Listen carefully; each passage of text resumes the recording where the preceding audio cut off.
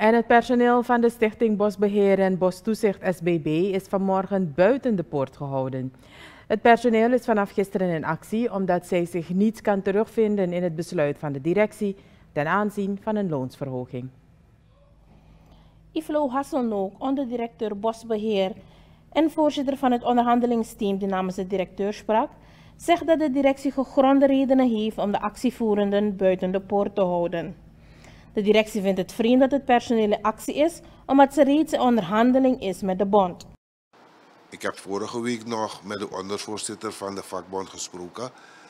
Dat was de 12e. En hij gaf aan dus dat die CAO nu bij hun jurist ligt voor screening. En zodra hij ermee klaar is, dat ze ons zouden informeren en dat we weer aan tafel konden gaan. Dus dat is waarop we nu wachten. Dus het heeft ons gisteren heel erg bevriend dat we moesten vernemen dat het personeel in actie is.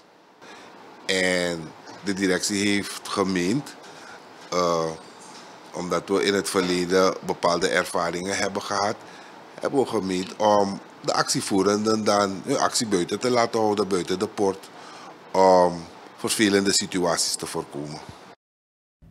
Dino Suprayan, ondervoorzitter van de bond SPB, zegt dat de actievoerenden zonder opgave van redenen buiten de deur zijn gehouden.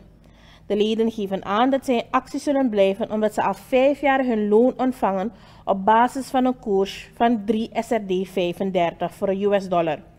Niemand komt meer uit, dus wij willen een procentuele verhoging van ons salaris en een koersaanpassing, zegt Suprayan. Um, we hebben toen toch de leden gevraagd om gewoon op scherp te blijven, geen acties. Maar de directie heeft toen ook al een brief ontvangen dat we in actie gaan. Dus ik begrijp niet waar hun, hun, hun, uh, waar, waarmee ze komen als ze zeggen dat ze niet weten dat, we, dat we acties hebben. Vanaf 31 januari is er een schrijven bij de directie dat we in actie gaan. Alleen hebben we niet gezegd wanneer. Maar we hebben het wel gezegd zodat ze zich kunnen voorbereiden op acties. We zijn bijna drie weken verder. En uiteindelijk, zonder dat we echt iets zinnigs eruit kunnen halen uit die correspondentie. En de leden zeggen, nou, het is genoeg. Dus gisteren heb ik mijn ALV uh, op verzoek van de leden uh, belegd. De leden hebben toen gezegd actie. We zijn gisteren dan in actie gegaan. Uh, gisteren laat is er een schrijf gestuurd door de directie dat we vanaf gisteren dan buiten moeten blijven. Dus vanmorgen kwamen we, we wilden naar binnen, maar we konden niet, alles was dicht. Dus we zijn hier gebleven en we voeren onze acties dan gewoon zo door. Het is trouwens ook no work, no pay. Dino Sopraien, ondervoorzitter van de bond bij de Stichting Bosbeheer en Bostoezicht. Hij sprak vanmorgen voor de poort van het bedrijf waar er actie wordt gevoerd. Het personeel is aangeschreven dat zij hun acties buiten de poort moeten voeren.